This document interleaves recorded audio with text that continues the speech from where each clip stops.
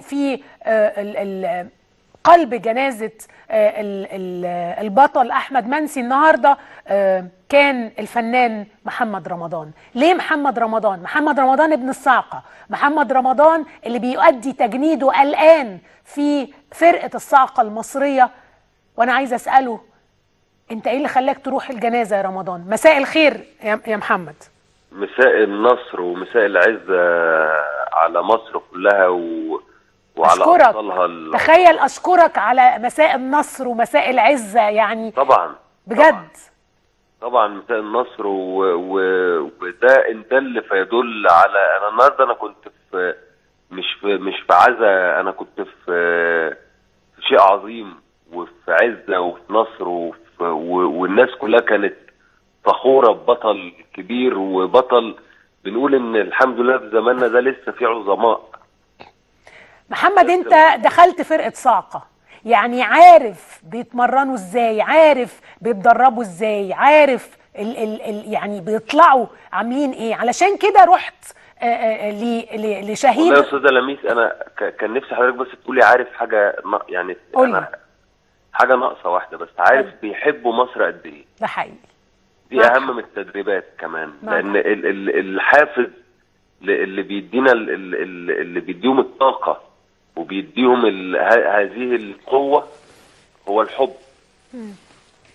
يعني أنا أنا عايز أقول يعني أنا عارف إنها ممكن المناسبه تكون ممكن تكون يعني اللي هقوله ده غير مناسب إحنا فيه ولكن عايز أستشهد بحاجة قالها مرسي جميل عزيز في أغنية لأم كلثوم.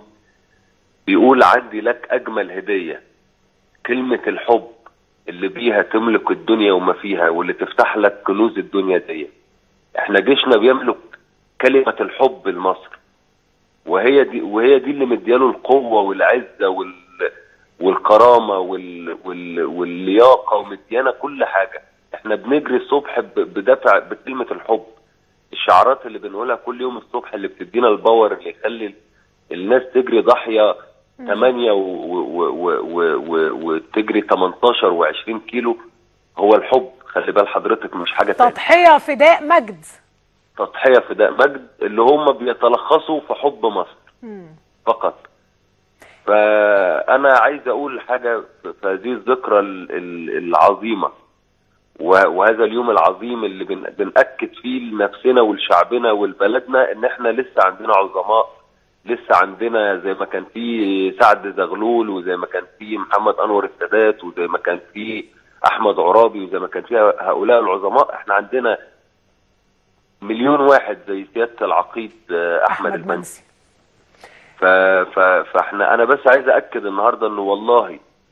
إحنا ما عندناش إرهاب إحنا عندنا غدر. لأن الإرهاب هو هو إن استطاعوا أن يزرعوا الرعب في قلوبنا. وإحنا عمر الرعب ما. سكن قلب مصر. فادام ما عندناش خوف منهم فإذا ما فيش إرهاب. هو في غدر موجود في مصر. إحنا بنقاوم غدر ما بنقاومش إرهاب. بس دي دي حاجة نفسي الناس تفهمها ونفسي الناس تبقى على يقين بيها. والدليل على كلامي ال- المقطع الصوتي اللي سجله سيادة العقيد قبل قبل وفاته. بقمة الثبات والقوة وال- والهدوء وال- والثقة والشجاعة. راجل عارف إنه هيموت بعد لحظات. اسمعي صوته وإنت هتحسي باطمئنان وإنت وإحنا في بيوتنا والله العظيم. محمد أنا- اتعلمت إيه من الصاعقة علمت غيرت إيه في محمد رمضان؟ أنا ب- ب- علمتني علمتني يعني إيه يعني إيه كلمة مصري بطاقه علمتني إن في كنز جوه كل بطاقه وشهاده ميلاد ال 90 مليون كنز اسمه مصري. عرفتني إن مصر دي مش جنسية ده لقب. ربنا منحنا لقب كبير جدا. هل أح هل إحنا نستحق هذا اللقب أم لم نستحقه؟ سياده المق... العقيد أحمد منسي هو هو رجل يستحق هذا اللقب. صحيح. هل هل نحن ن- نستحق أيضا هذا اللقب أم لا؟ ده هيبان من خلال كل واحد في مهنته زي ما قال سياده الفريق أول صدقي صبحي إن إن مش بس اللي بيحارب أبو أبو بندقية. لو الإعلامي بيحارب من مكانه لو الصحفي بيحارب من مكانه لو الدكتور بيحارب من مكانه لو المهندس بيحارب من مكانه والممثل بيحارب من مكانه إحنا فعلا هنبقى بنستحق هذا اللقب العظيم اللي هو مصري. قلت إيه لأهل الشهيد أحمد منسي ولابنه الصغير اللي أنت متصور معاه؟ ابنه يعني آه، حالفني الحظ النهارده إني قضيت رحلة مدتها ساعة تقريبا هي أعظم رحلة في حياتي.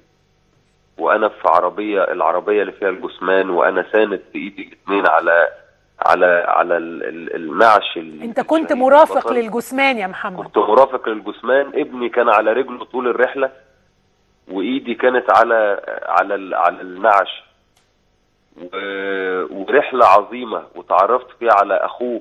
ويعني أنا عايز أقول حاجة بس إن لاحظتها النهارده إنه أنا سمعت قص قصص في هذه الرحلة. يعني سمعت قصة أول مرة أسمعها ويمكن المشاهدين أول مرة يسمعوها إن دكتور صابر والد سيادة العقيد أحمد صابر منسي ده أكبر دكتور أطفال في العاشر من رمضان يا أستاذة لميس.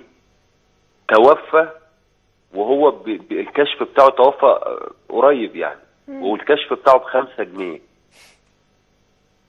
يا سلام. هو بقى في دكتور أكبر كده. دكتور أطفال في في في منطقة في الحي العاشر من رمضان بالكامل ما زودش الكشف عن خمسة جنيه في ظل كل حاجة غليت. هو ما علاش ثمن الكشف. فعايز أقول إن اللي لاحظته إن هؤلاء ال- العظماء هم مختارون من ربنا. ربنا مختار مين وابن مين وتربى إزاي وأمه ست عظيمة إزاي وأبوه. هل أبوه يستحق أن يكون ابنه هو هذا البطل أم لا؟ إخواته دكتور وائل النهارده أول مرة أقابله وأتعرف عليه. يعني ما هذا الثبات وما هذه القوة؟ ال ال لما أنا انهارت في العياط هو اللي كان بيحضني وي- ويهديني. يقول لي يقول لي أحمد لو- كان عايش ما كان هيزعل لو شاف لو شافك بتعيط دلوقتي. تقول إيه لشباب البلد دي؟ لشباب البلد دي يا محمد اللي كتير بتتهز ثقتهم وكتير بيجي لهم إحباط وكتير منهم بيقول لك الله ده إزاي بيخشوا يقتلونا بالمنظر ده؟ 26 واحد ماتوا ولا 23 واحد ماتوا. تقول إيه للشباب اللي بيفقد إيمانه كتير جدا بالبلد دي بعد ما أنت دخلت الجيش ودخلت الساقة و... ويعني ات- اتغيرت أنت اتغيرت. آه، تقول إيه للشباب للشباب دول يا محمد؟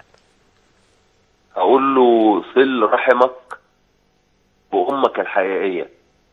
يا سلام. وهي مصر. تعامل مع البلد بصلة الرحم لا تنتظر منها شيء. مفيش حد بيصل رحمه لأمه وهو منتظر منها فلوس أو منتظر منها أي شيء في العالم. صل رحمك ادي مصر وما تنتظرش حاجة. مش مش كل مش كل أهدافنا تبقى أهداف شخصية ومش كل أهدافنا تبقى مصر هتديني إيه؟ طب لما هنزل آه، عشان أعمل أطالب بحاجة أنا بطالب علشان حاجتي لأ. مش كل الحياة مش كل الحياة نظرا لأنفسنا بس. دي دي صلة الرحم الحقيقية والله. سيادة المقدم منسي مفيش مقابل لأن هو يحرم أبنائه منه ومفيش مقابل بأن هو يحرم زوجته منه. مفيش م... ده راجل هو فقط ادى ادى ادى ادى حرم ادى كل شيء لمصر. ما خدش أي حاجة غير ما خدش غير غير استقبال عظيم. طبعا.